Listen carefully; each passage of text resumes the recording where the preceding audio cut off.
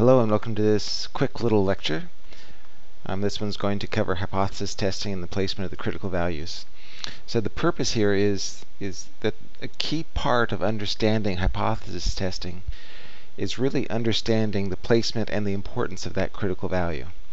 Um, correctly calculating the critical value requires that you know if the test is a one-tailed test or if it's a two-tailed test. One-tailed tests have the alternative hypothesis mu is greater than some stated value or mu is less than some stated value. For a two-tailed test, the alternative hypothesis is mu is not equal to. And those are the only options. Of course, it also requires knowing the value of alpha. Um, so these slides show the placement of the critical value uh, as it relates to the, hypo uh, the alternative hypothesis. So let's go through these and I'll keep talking. Here's the a typical distribution. Um, this could be a normal distribution, it could be a t distribution, it could be any other distribution that's symmetric, bell-shaped, unimodal, etc. Um, doesn't matter.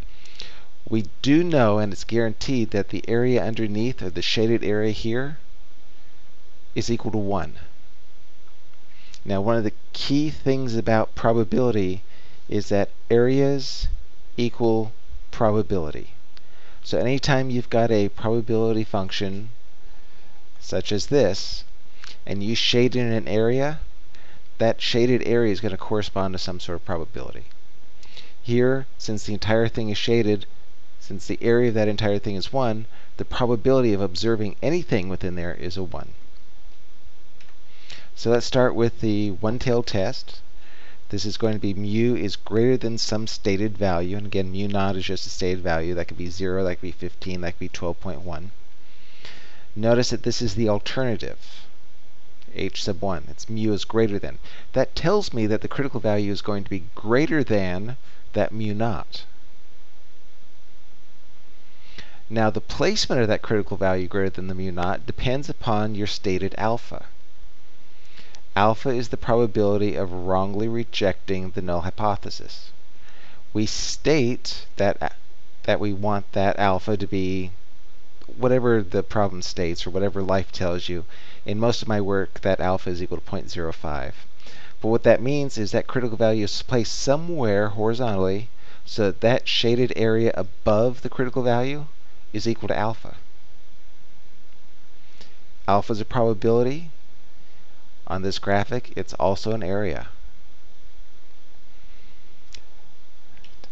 Another option is the null hypothesis mu is greater than some stated value. This also is a one-tailed. Since mu is less than mu naught, I went the wrong way. Since mu is less than mu naught, there's a critical value that's going to be less than the mu naught. How far less? Less enough that the area to the left of that critical value has an, is equal to alpha. So if alpha is 0.10, then that critical value is going to be placed there so the shaded area has is of, of size 0.10. If alpha is 0.01, then that critical value is going to be a little bit further to the left to correspond to an, a shaded area of 0.01. Now for the two-tailed test. The alternative mu is not equal to mu naught since it's not equal to, we're going to have critical values above and below. How far above and be below? Well, so that the shaded area above and below is equal to that alpha value. And that means we're going to split the alpha between that above and below. So we've got alpha over 2 above, alpha over 2 below. Those are the areas, those are the probabilities that we look for in our tables. So for instance, if we've got a two-tailed t-test, and we specify alpha equals 0.10, and it's two-tailed, then we go to our t-tables and look for alpha divided by 2 along the top, because it's two-sided, and that two sides affects the area, the placement of those critical values. If, however, we have a one-sided test or a one-tailed test, and the and the alpha is 0.10, we're going to look in our t-tables for the column of 0.10. That's that's where the 2 comes from, or that's where the 2 is is is used. It's in dividing the alpha in order to determine the area in the t-tables, or the z-tables if you're using z-tables. So I hope that quick little lecture was helpful. Um, take care of yourself. Enjoy.